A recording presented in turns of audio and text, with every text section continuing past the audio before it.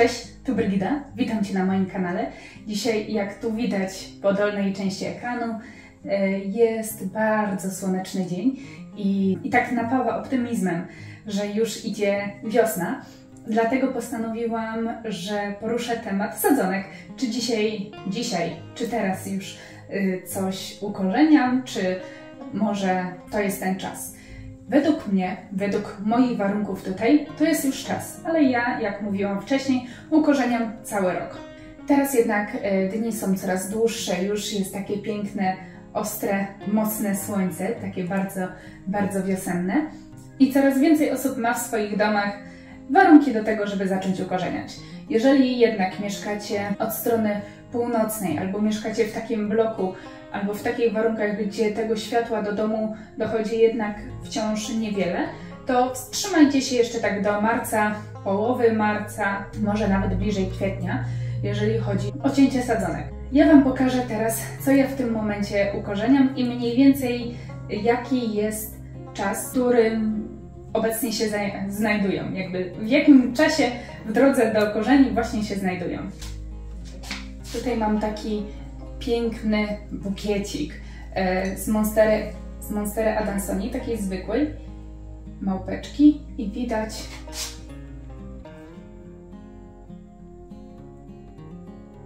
już nawet widać o, nowy stożek wzrostu i piękne korzonki. I jeszcze one nie są gotowe do posadzenia, bo nie rozwidlają się, wciąż jeszcze są malutkie, ale tutaj widać spory progres. Widzę, że już się rumienię, bo tu jest naprawdę gorąco. Jak powtarzam praktycznie w każdym filmie na ten temat i na tematy ogólnie roślinne, ja mam tutaj bardzo dużo słońca, jest tu bardzo ciepło, bo jest to okno południowe, pokój z wystawą na południe, więc już czuję, że moja noga zaraz się opali. Mimo, że mam spodnie na sobie, to myślę, że tu jest takie ostre słońce, że zaraz się to wszystko, wszystko przebije. W każdym razie, ten słoiczek stoi na mojej małej macie grzewczej i już około dwóch tygodni y, mają te sadzonki, bardzo ładnie się ukorzeniają. O, widzę, że jakiś korzonek się tu połamał i mi pływa. Y, już poza kadrem to oczyszczę, nie chce mi się teraz tego robić. Y, jeżeli chodzi o to, w czym ukorzeniam, to ukorzeniam w wodzie z dodatkiem węgla i z dodatkiem ukorzeniacza żeby było szybciej. Przez zimę tak robię, latem, jeżeli to nie są rośliny kolekcjonerskie, w ogóle się nie bawię w ukorzeniacz, ale zimą dorzucam. Tutaj w takim pięknym koszyczku yy, ogólnie polecam Wam te koszyczki po właśnie tych, yy, to jest, co to jest? To jest jakiś serek typu feta powiedzmy i on ma taki koszyczek i to jest mega, żeby sprawdzić, czy tu coś gnije, czy dolać wody, dosypać węgla. Taki, w takim koszyczku rośliny są ułożone i je po prostu wkładamy. A jeżeli bym miała je e, tak włożone, tak jak w słoiczku, który jest moim zdaniem o wiele mniej wygodny, no ale nie mam wiele takich pojemniczków, to one po prostu czasami e, się podnoszą, jakieś sadzonki wyskakują i już nie są w wodzie, więc te koszyczki po tym bardzo fajnie się podnosi.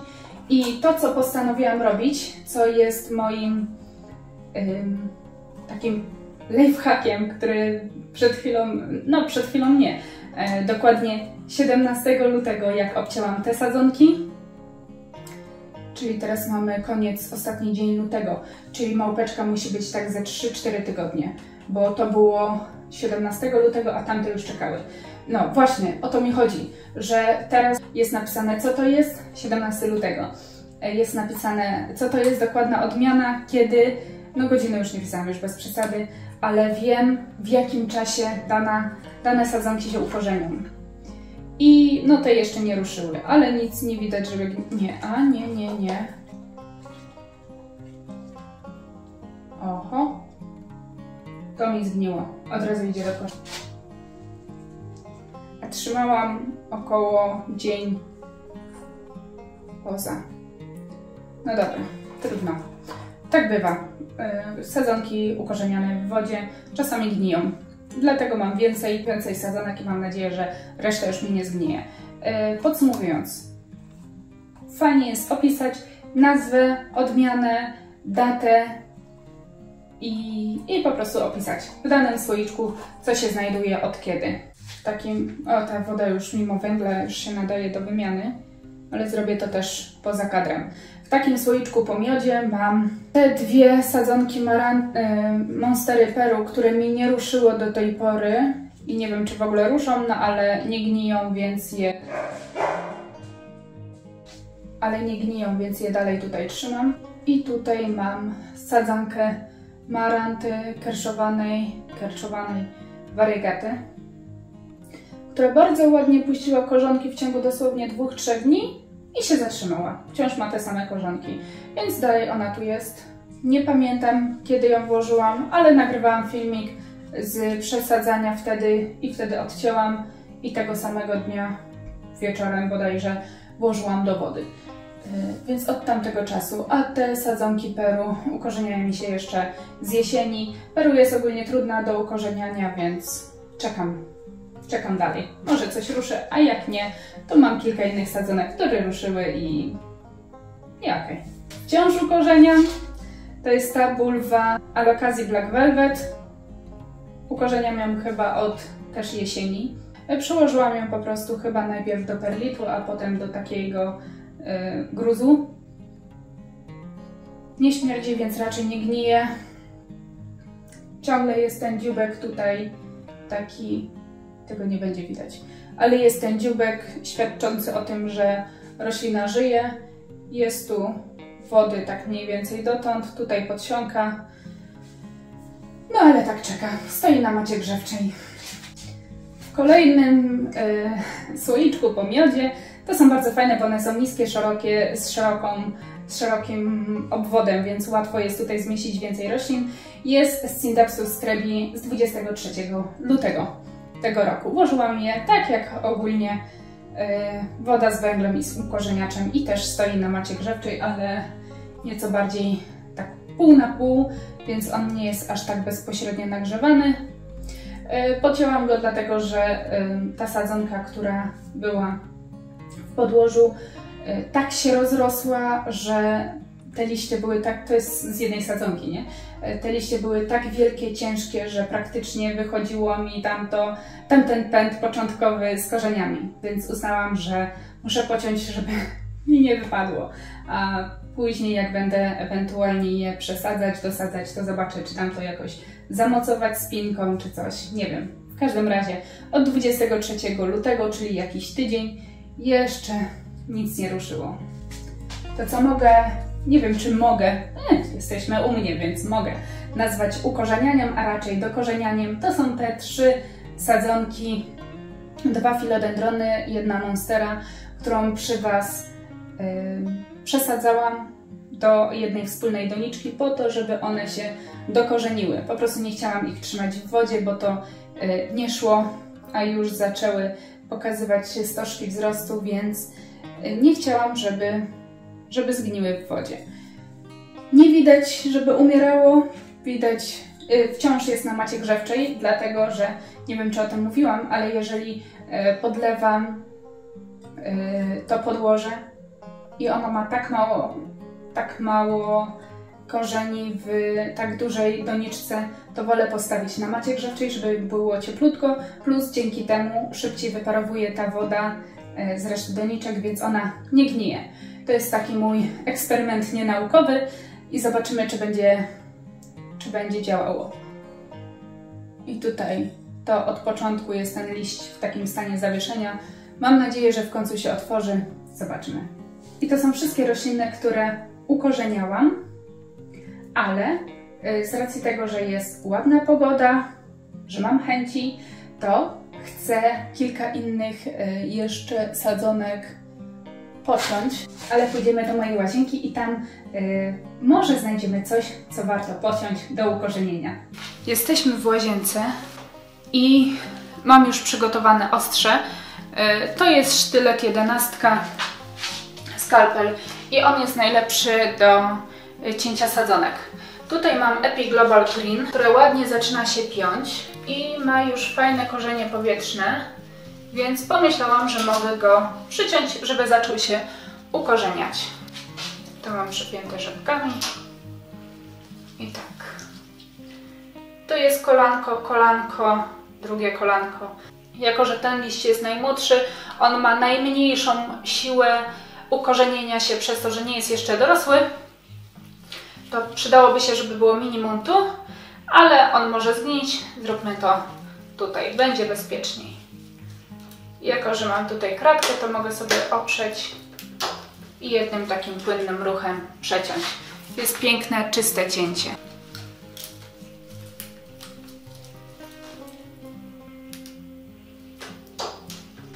Global Green już kiedyś ukorzeniałam i mi się nie ukorzeniło, dlatego utnę więcej sadzonek, żeby była większa szansa, że, że mi się ukorzenią i wszystko będzie w porządku.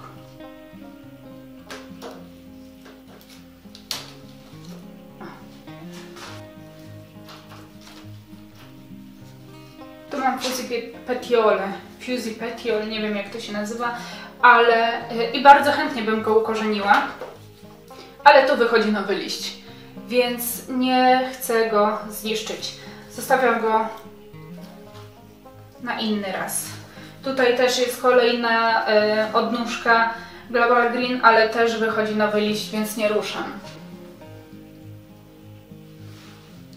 Tutaj jest ta monstera o niezwykle trudnej nazwie i widzę, że zablokował mi się liść. Dało się delikatnie wysunąć. I to też bym chciała ukorzenić, bo to idzie taki bardzo długi, e, bardzo długi pęd, no ale że znowu mi wyszła nowa, nowy liść, to zostawię na razie. Niech wyjdzie ten liść, a może mi się uda w końcu go pociąć. Tutaj jest Hoja Australis. Wypuściła taki pusty pęd właściwie, więc ja go obetnę.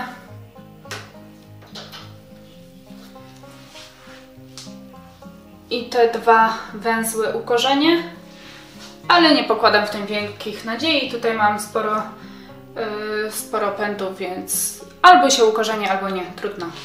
Tutaj jest Raphidofora tetrasperma, która ma piękne, tu są aż dwie doniczki, aż, bo dla mnie to jest aż. Jeżeli mam więcej niż jedną doniczkę w tym samym, tej samej rośliny. Ale, jako że to jest chwast, zaraz będzie się rozbujać, więc znowu, czy to widać? Może widać, może nie. O, ciach. Po prostu o kratkę. W ogóle do tego jest ta kratka, żeby jej używać. Trzy.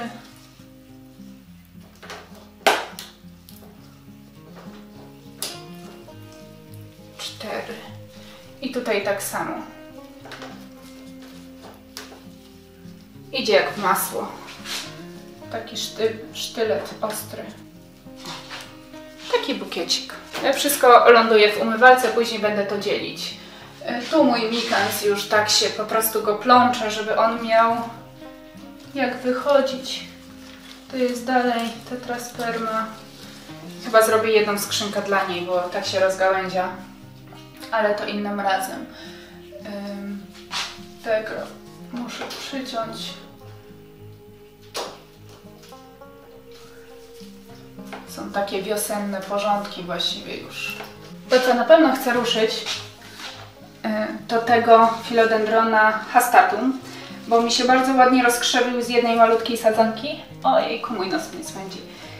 I tak, więc on ma już tutaj bardzo ładne korzenie powietrzne i mogę go ciachać.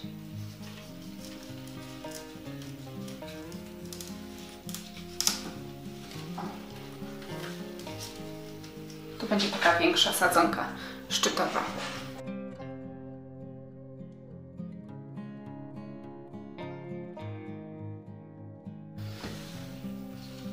On mnie stresuje o tyle, że za każdym razem jak chcę otworzyć okno, to on mi się wywraca, bo nie jest przykręcony do pelika.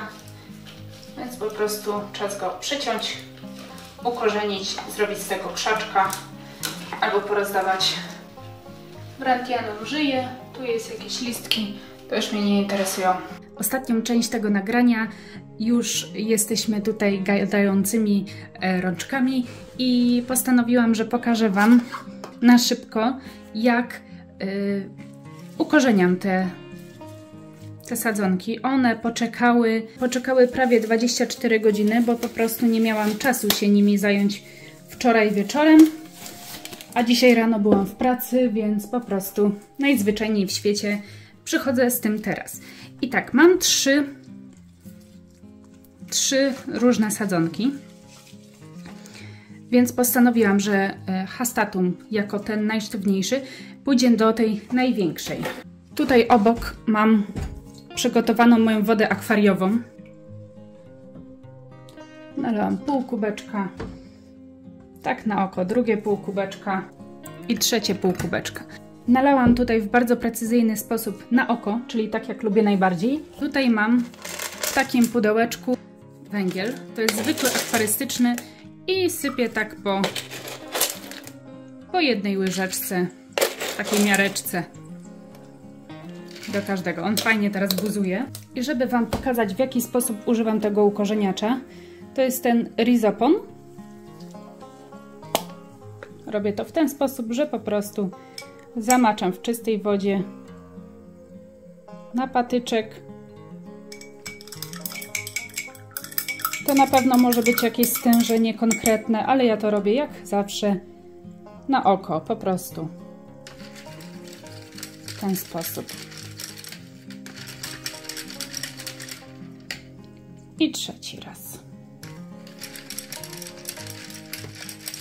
Tej wody nie wymieniam, no chyba, że się zrobi taka galaretka, a normalnie to tylko dolewam.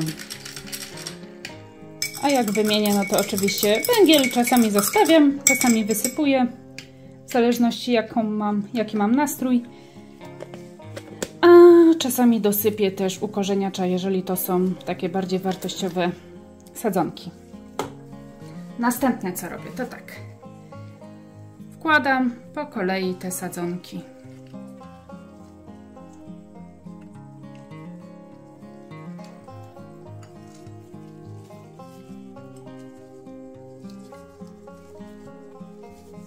Tak trochę upycham. One się później troszeczkę nawet za bardzo odczekały, bo są takie zwiędnięte, podsuszone, ale to nic. Odbiją. I tutaj do tego wrzucę moje globalki, a do trzeciego rafidoforę tetraspermę. Tu przydałby się nawet troszeczkę głębszy, ale rafidofora to jest taki chwast, że jej nic nie przeszkadza. I ostatnią rzeczą, jaką robię, to jest biorę taką cenówkę. Ja to kupiłam parę lat temu w Selgrosie i opisuję. Dzisiaj jest 1 marca, pobrane sadzonki wczoraj, ale dzisiaj 0103. I to powiedzmy hastatum.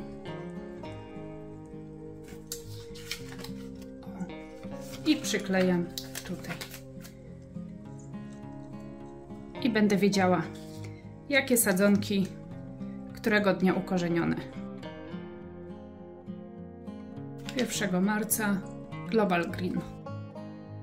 Tego już tak naprawdę nie muszę opisywać, ale, ale dla porządku napiszę.